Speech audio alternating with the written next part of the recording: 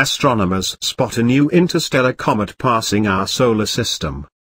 A newly discovered comet has excited the astronomical community this week because it appears to have originated from outside the solar system.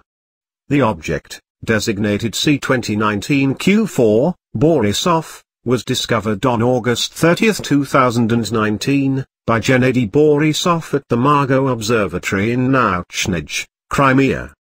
The official confirmation that comet C2019 Q4 is an interstellar comet has not yet been made, but if it is interstellar, it would be only the second such object detected.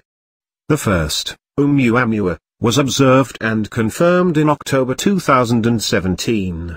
The new comet, C2019 Q4, is still inbound toward the Sun, but it will remain farther than the orbit of Mars and will approach no closer to Earth than about 190 million miles, 300 million kilometers. After the initial detections of the comet, Scout system, which is located at NASA's Jet Propulsion Laboratory in Pasadena, California, automatically flagged the object as possibly being interstellar. David Farnocchia of NASA's Center for Near-Earth Object Studies at JPL worked with astronomers, and the European Space Agency's Near-Earth Object Coordination Center in Frascati, Italy, to obtain additional observations. He then worked with the NASA-sponsored Minor Planet Center in Cambridge, Massachusetts, to estimate the comet's precise trajectory and determine whether it originated within our solar system or came from elsewhere in the galaxy. The comet is currently 260 million miles, 420 million kilometers, from the Sun, and will reach its closest point, or perihelion, on December 8, 2019, at a distance of about 190 million miles, 300 million kilometers. The comet's current velocity is high, about 93,000 miles per hour, 150,000 kph, which is well above the typical velocities of objects orbiting the Sun at that distance, said Farnocchia. The high velocity indicates not only that the object likely originated from outside our solar system, but also that it will leave and head back to interstellar space.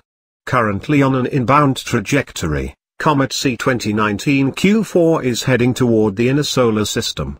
On October 26, it will pass through the ecliptic plane, the plane in which Earth and the other planets orbit the Sun, from above at roughly a 40 degree angle.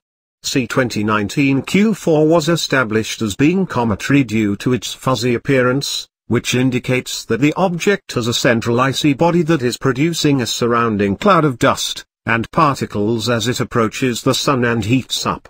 Its location in the sky, as seen from Earth, places it near the Sun, an area of sky not usually scanned by the large ground-based asteroid surveys or NASA's asteroid hunting NEOWISE spacecraft. C2019 Q4 can be seen with professional telescopes for months to come. The object will peak in brightness in mid-December and continue to be observable with moderate-sized telescopes until April 2020, said Farnocchia. After that, it will only be observable with larger professional telescopes through October 2020. Observations completed by Karen Meech, and her team at the University of Hawaii indicate the comet nucleus is somewhere between 1.2 and 10 miles, 2 and 16 kilometers, in diameter. Astronomers will continue collect observations to further characterize the comet's physical properties, size, rotation, etc., and also continue to better identify its trajectory.